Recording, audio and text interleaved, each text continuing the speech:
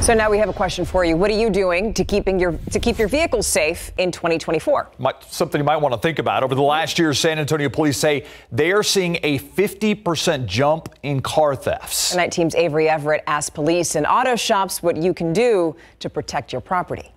A sound that's loud and possibly preventative. It's more noise, more chance of being spotted, so they want to avoid that. They want to get in, get out in under a minute. At Mother's Window Tint, out on the north side, Joe Calvi sells multiple car alarms a day, just like this. People want to prevent theft. And it's likely due to an increase in stolen vehicles. It's been going on for a very long time. Just one week ago, San Antonio Police Chief William McManus shared the city's 2023 crime statistics during a public safety committee meeting. Much of it. He reported that San Antonio saw a 53% spike in car thefts. It's a big business, and and um, as far as I'm concerned, people need to be held accountable and they need to be held in jail. Across 2023, SAPD says Kias and Hyundais were the most common types of vehicles stolen.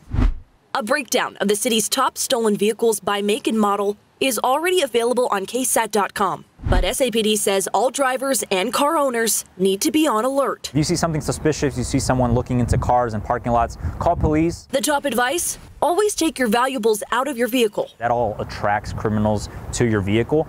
So, how else can you combat a crime of opportunity? Car locks and clubs are SAPD's recommendation. Hooks up to the horn and a siren as well. At Mother's Window Tint, Calvi says alarms are also an option. We want to make it hard, unattractive to take the vehicle, and alarms do that where the steering wheel locks do not. With such a rise in crime, it all needs protection these days. Calvi says prevention is the best way to stop criminals in their tracks.